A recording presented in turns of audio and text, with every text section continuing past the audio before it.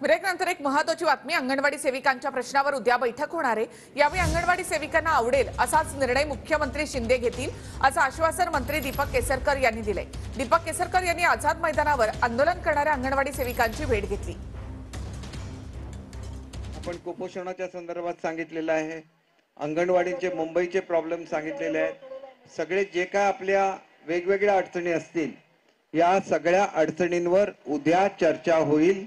आणि त्या चर्चेमध्ये जो काय निर्णय होईल ते आपले नेते मंडळी आपल्याला येऊन सांगतील. त्याच्यामुळे आपण सकारात्मक राहिलं पाहिजे. चांगला निर्णय उद्या होईल अशी आपण अपेक्षा करूया. आणि ही मीटिंग अतिशय चांगल्या वातावरणामध्ये आपण करूया. आणि आनंदाने तुम्हाला सगळ्यांना घरी जाता येईल असा चांगला निर्णय मुख्यमंत्री महोदय करतील याची मला खात्री आहे. शब्दाच्या बुडबुड्यांना काही अर्थ नसतो. आम्ही मार्च महिन्यामध्ये निदान वीस टक्के पैसे तरी वाढवले. त्यांना वाटलं पाहिजे की आपण सुद्धा वाढवायला पाहिजे होते. आपण काही करू शकत नाही पण नुसतं येऊन भाषण करण्यामध्ये काय अर्थ आहे? आणि म्हणून मला काही त्यांच्यावर टीका करायची नाही. ते ज्येष्ठ आहेत. त्यांनी त्यांच्या मनाला वाटलं ते केलं.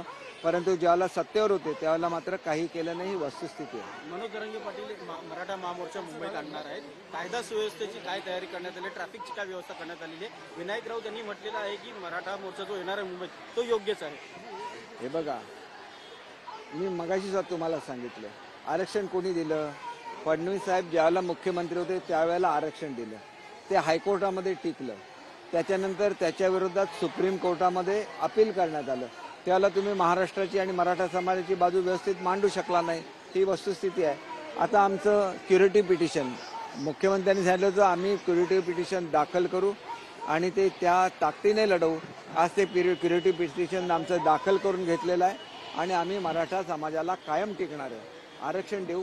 आणि कोणाच्याही आरक्षणाला धक्का न लावता हे आरक्षण देऊ. मुंबईत तीन ठिकाणी तीन मैदानावरती महामोर्चा असणार आहे. ट्रॅफिक आणि एकूण कायदा सुव्यवस्था बिघडेल अशी बघा पोलीस सज्ज असतात परंतु एक वैशिष्ट्य हे मराठा समाजांच्या मोर्चाचं नेहमी राहिलेलं आहे की लाखोचे मोर्चे असतात परंतु ते शांततापूर्ण असतात.